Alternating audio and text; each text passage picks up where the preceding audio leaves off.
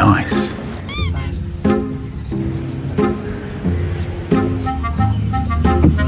तो बताओ बेटा क्या परेशानी है? सर वो ज़िंदगी में माल की कमी है। ये खाना है। सर आप ही ने पूछा तो बता दिए का दिक्कत है। तो साले शारीरिक दिक्कत पूछा था गुप्तांग की दिक्कत नहीं। अच्छा माफ़ कर दिए डॉक्टर साहब। ज़्यादा बकचोदी ना किया करो हमारे क्लिनिक में आके। अब बताओ क्या दिक्कत है। वो सर कमज़ोरी कमज़ोरी फील होता है। कमज़ोरी? अच्छा खाना पीना होता है तुम्हारे टाइम पे? सर रात में एक बार और सो के उठने के बाद एक बार। रात में एक बार। तो दिन में क्या करते हो? मंजीरा बजाते हो का?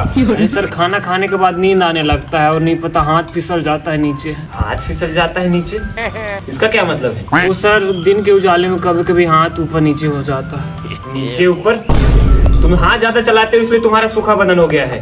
ऐसा मत किया करो समझे? सर बस आप इलाज बता दीजिए इस भूखमरी और पतलेपन का। ना ही कोई जीएफ पट रही है ना कोई आस बचा है।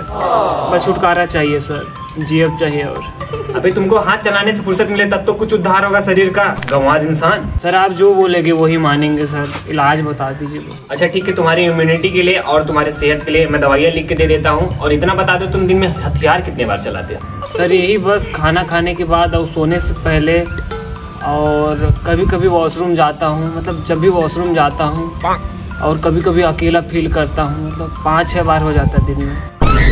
पागल हो गए हो क्या? इतना कौन हिलाता है भाई? अपने हालत के जिम्मेदार तुम खुद हो। तुम्हें जरा से भी समझदारी नहीं है कि हिलाना नहीं चाहिए इतना ज़्यादा? इम्यूनिटी का तुम मर भी सकते हो इससे पागल इंसान। सर बस इससे छुटकारा दिला दीजिए हमको। अब नहीं रहा जाता इसके साथ। इसके सहारे ज़िंदगी कैसे बीतेगी? गर्लफ्रेंड नहीं इसका तो सबसे बड़ा गम है। बस छुटकारा दिला दीजिए। ज़िंदगी में कुछ कर पाए या ना पाए का पता का होगा आगे। बस इससे छुटकारा दिला दीजिए। देखो अब बुद्धि आ ही गई ना बेटा तो मेरी बात ध्यान से सुनना। अगर अकेलापन तुमको सताए ना तो उतना टाइम किसी के साथ रहो या फिर मुझे कॉल कर लिया करो। अकेले रहोगे जितना भी तुमको हिलाने का मन करेगा।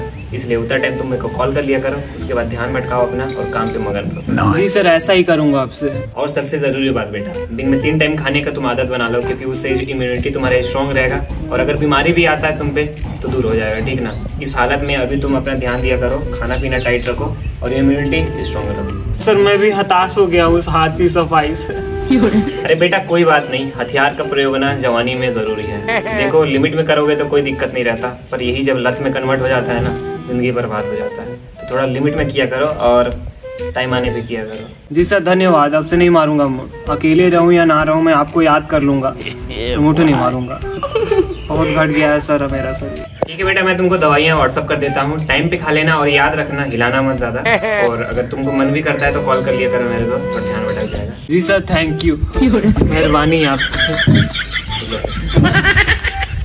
क्या होगा नौजवानों का? हाथ का काम चला चला के इन लोग अपना जवानी बर्बाद कर रहे हैं। हमारा जमाना था देखते ही छू जाता था कितने अच्छे हैं डॉक्टर। कितना भला विचार दिए मेरे को।